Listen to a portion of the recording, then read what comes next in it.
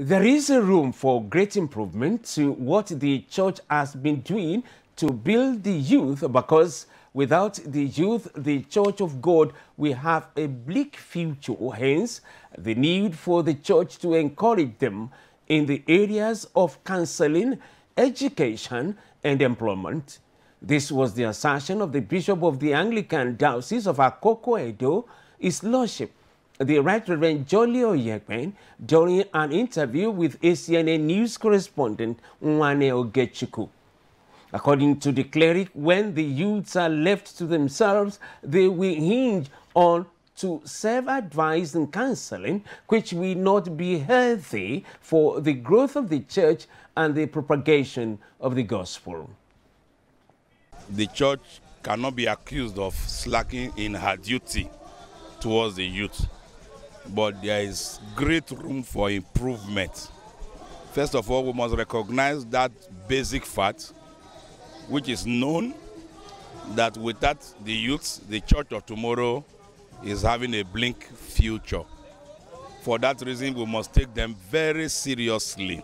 We need to encourage them in the area of counseling.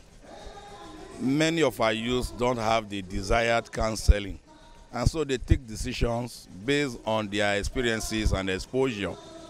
So we must be ready to put our feet down and encourage our youths counsel them on the right attitude towards life.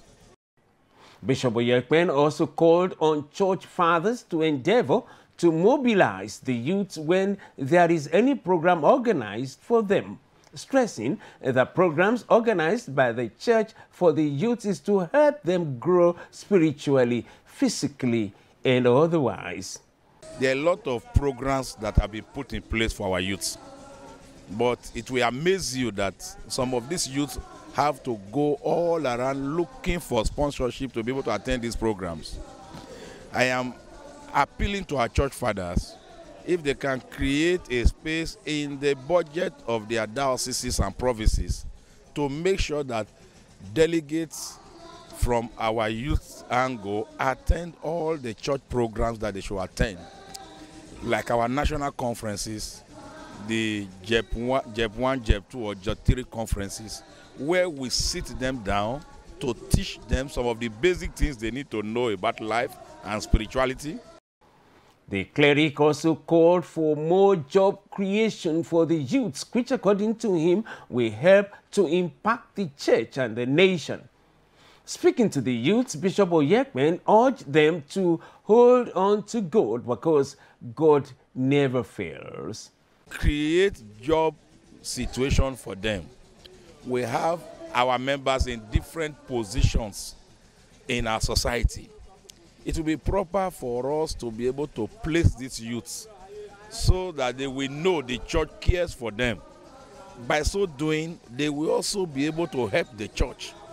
Because when it comes to their time, they, if they are well empowered, then they can empower the church. Whatever God has proposed for them will always come to pass. All God demands from them is dedication, total submission to His will. And by so doing, they will be able to fulfill God's will for their lives.